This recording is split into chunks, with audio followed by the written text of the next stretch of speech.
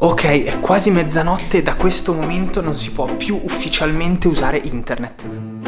A chi resisterà più tempo disconnesso infatti invierò come premio delle criptovalute, che potrebbero renderlo fra qualche anno potenzialmente milionario. Allora, le regole sono semplici, tutti offline in modalità aereo, così il nostro notaio può mandare un messaggio in una chat con tutti i partecipanti.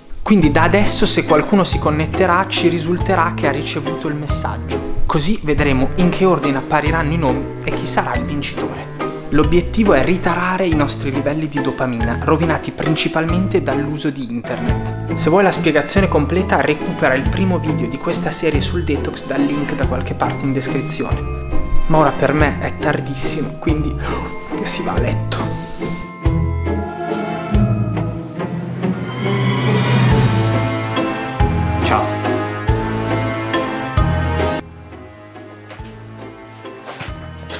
Facciamo un digital detox. La tecnologia fa male, così ci disintossichiamo.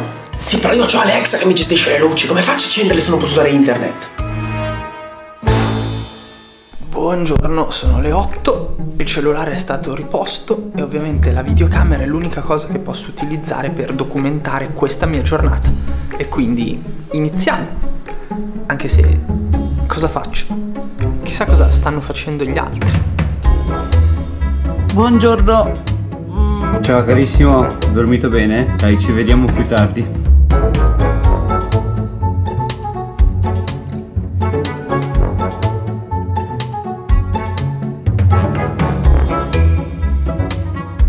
Allora, qui sono appena le 10 e ho già fatto tutto quello che potevo fare in casa. Ho lavato i piatti senza poter guardare niente su YouTube. Ho provato a fare la barba ma non potevo neanche mettere un po' di musichetta di sottofondo, quindi l'unica è uscire di casa, anche perché qui è pieno di distrazioni. Intanto, per caso qualcuno ha ceduto? No, Nessuno, maledetti, chissà cosa stanno facendo loro.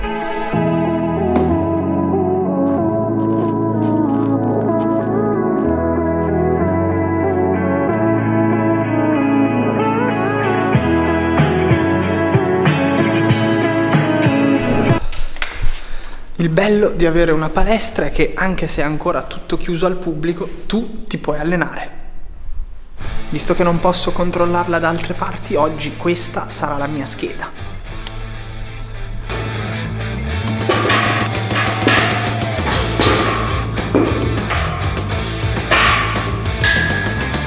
Uh. Ora, non avevo considerato quanto è noioso allenarsi senza musica.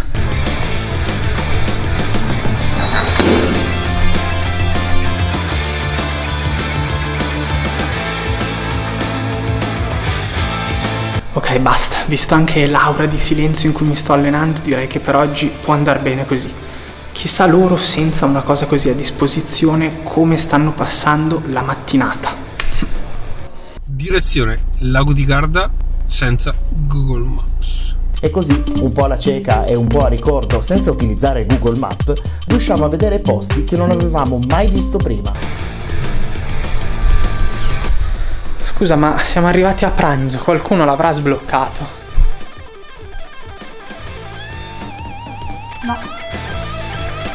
Ora, prima di pranzo, volevo suonare un po' il pianoforte.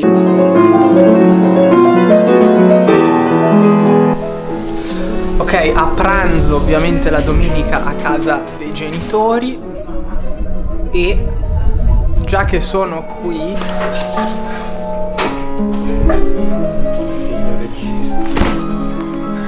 Ah. Ah, finalmente possiamo scrollare un po' di... Ah no, com'è che si dice? Sfogliare. Sfogliare un po' di foto. Ma un bambino così, che gli devi dire? A pranzo però ci fermiamo, dove per un attimo anch'io voglio ingannare l'attesa controllando email, social, app di messaggistica. Ma no, non cedo. E ora prepariamo una partitina a scacchi offline.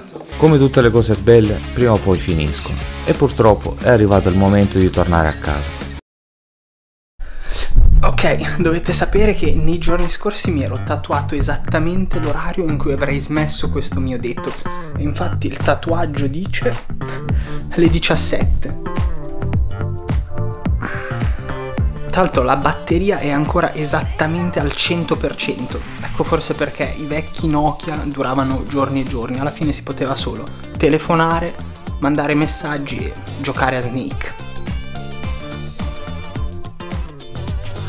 Ok, visto che ormai sono online, inizio a comprare un po' di cripto che manderò al vincitore.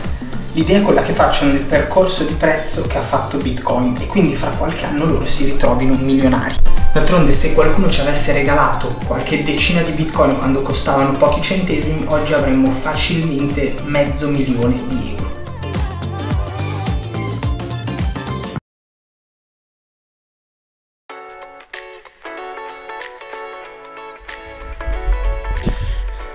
È giunto il momento di tornare a lavorare. Ok ragazzi, ci siamo, è il momento di accendere il telefono. 24 ore di Digital Detox. E voilà! 22 febbraio, 0 secondi. Missione riuscita. È giunto il momento. Riattiviamo il wifi e la connessione dati. Qua 55 messaggi da... Ho vinto!